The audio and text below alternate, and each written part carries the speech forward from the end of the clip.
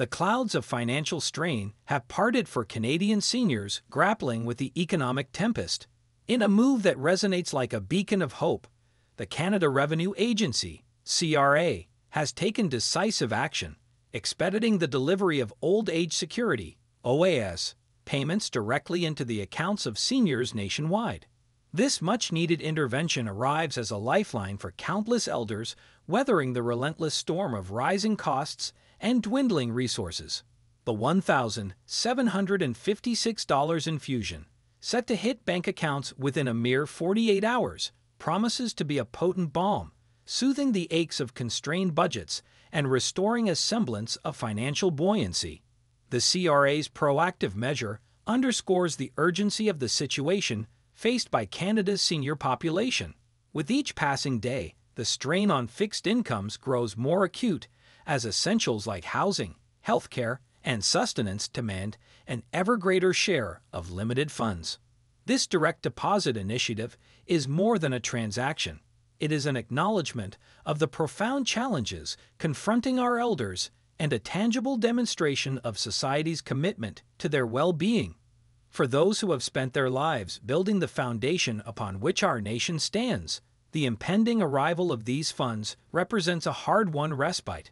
Imagine the relief that will wash over countless households where every penny has been meticulously rationed and the specter of precarity has loomed large. With this intervention, the CRA has acknowledged their plight and extended a hand of support, a gesture that will resonate profoundly within the senior community. Yet, this is more than a stopgap measure.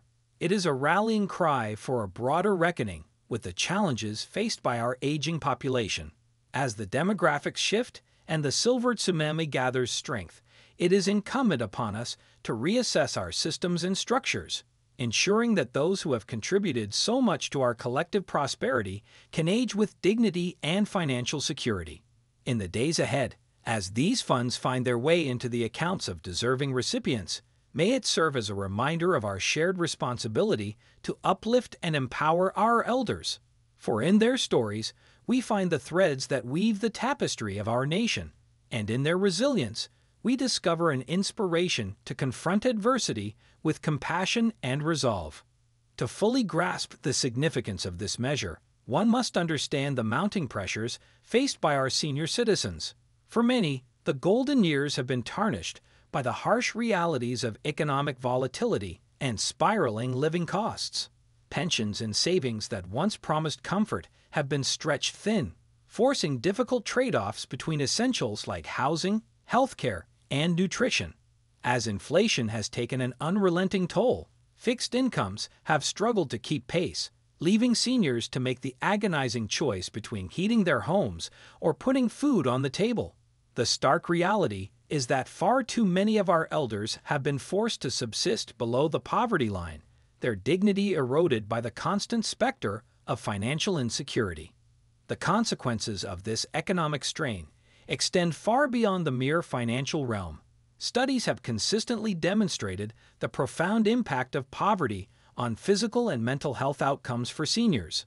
Chronic stress, inadequate nutrition, and delayed medical care all contribute to a higher incidence of chronic conditions, exacerbating the already formidable challenges of aging.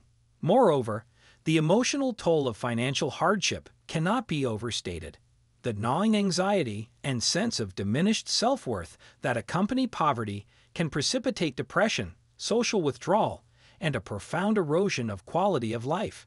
It is a cruel irony that those who have dedicated their lives to building our communities now find themselves on the precipice of destitution, their twilight years overshadowed by the specter of want. Against this backdrop of struggle and hardship, the CRA's decisive action to expedite OAS payments directly into seniors' accounts takes on an even greater significance. For those teetering on the brink of despair, this influx of funds represents a lifeline, a chance to catch their breath and regain their footing in the face of relentless adversity. Imagine the palpable relief that will wash over households where every penny has been stretched to its limit. The simple act of opening a bank statement and seeing those vital funds deposited could be the difference between keeping the lights on or descending into darkness, between affording essential medication or going without. But this intervention is about more than just dollars and cents.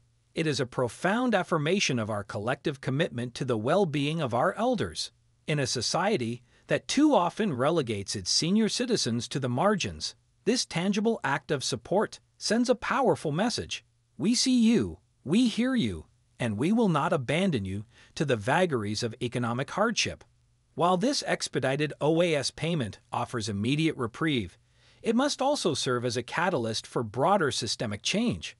For too long, our seniors have been left to fend for themselves in an economic landscape that grows more inhospitable with each passing year.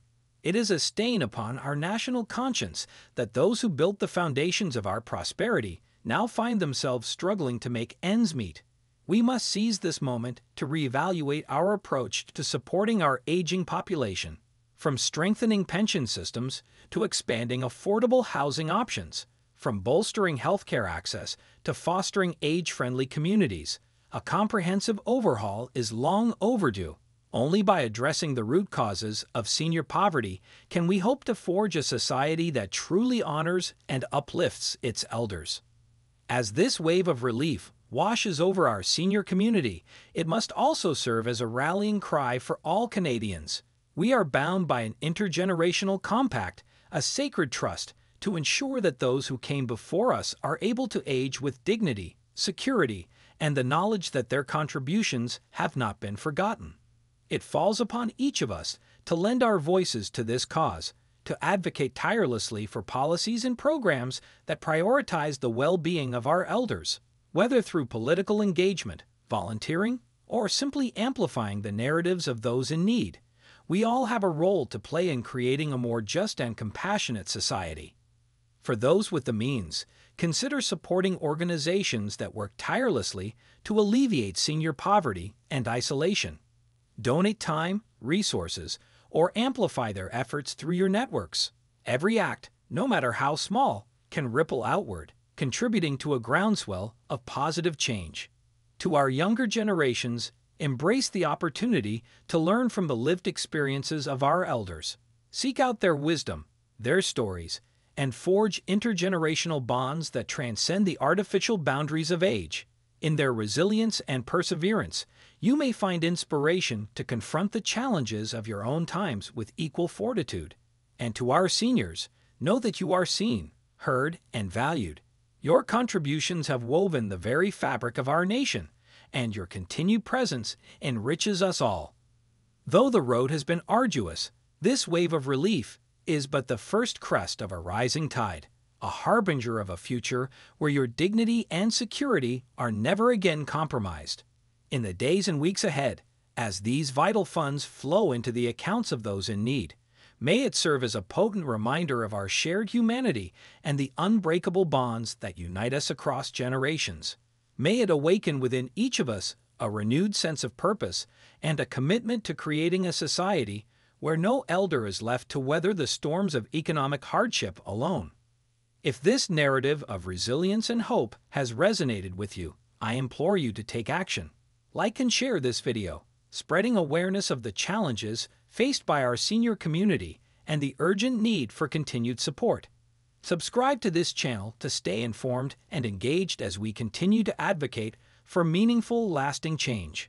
But more than that, I urge you to carry this message forward, to amplify it through your own networks and spheres of influence. Lend your voice to the chorus calling for a more just, compassionate, and age friendly society. Together, we can turn this wave of relief into a rising tide of progress, one that lifts all of our elders and ensures that their golden years are truly golden. The path ahead will not be easy, but our collective resolve must be unwavering. For in a society that truly values its elders, there can be no higher priority than ensuring their security, their dignity, and their well being. Let this moment be a catalyst for transformative change a step towards a future where no senior is left behind, and where the twilight years are embraced as a time of grace, fulfillment, and the hard won rewards of a life well lived.